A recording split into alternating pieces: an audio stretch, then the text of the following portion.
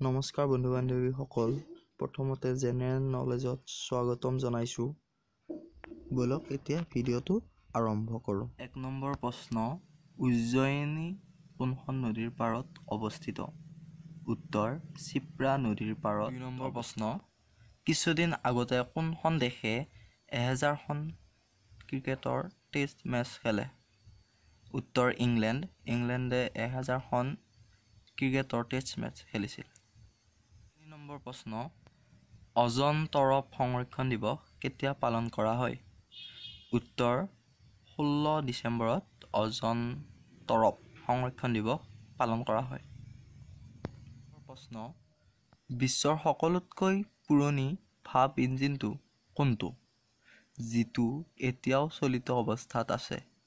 উত্তৰ fairy queen বৰ্তমানেও আছে। ভাৰতীয় ৰেলৱেৰ মুঠ কিমান শতাংশ বৈদ্যুতিকৰণ হৈছে। উত্তৰ ত্ৰিছ শতাংশ বৈদ্যুতিকৰণ হৈছে। ভাৰতবৰ্ষৰ পশ্চিমতম ৰেলৱে ষ্টেচন কোনটো? উত্তৰ উষা উষা হৈছে ভাৰতবৰ্ষৰ পশ্চিমতম ৰেলৱে ষ্টেচন। ভাৰতীয় ৰেলৱেত প্ৰতিদিনে কিমানখন ৰেল চলে? উত্তৰ প্ৰায় এঘাৰ হাজাৰখন ৰেল চলে। এছিয়াৰ সকলোতকৈ ডাঙৰ ৰেল মিউজিয়াম ক'ত অৱস্থিত? উত্তৰ নতুন দিল্লী নতুন দিল্লীত প্ৰশ্ন সৰ্বাধিক বাৰ ৰেল বাজেট প্ৰস্তুত কৰা ৰেল মন্ত্ৰীগৰাকী কোন? উত্তৰ বাবু জগজীৱন ৰাম। প্ৰশ্ন।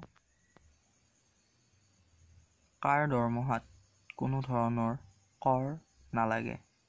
উত্তৰ ৰাষ্ট্ৰপতি। ৰাষ্ট্ৰপতি। বন্ধুসকলে এনেধৰণৰ জিকে পাই থাকিবলৈ চেনেলটো ছাবস্ক্ৰাইব কৰিবলৈ একেবাৰে নাপাহৰিব।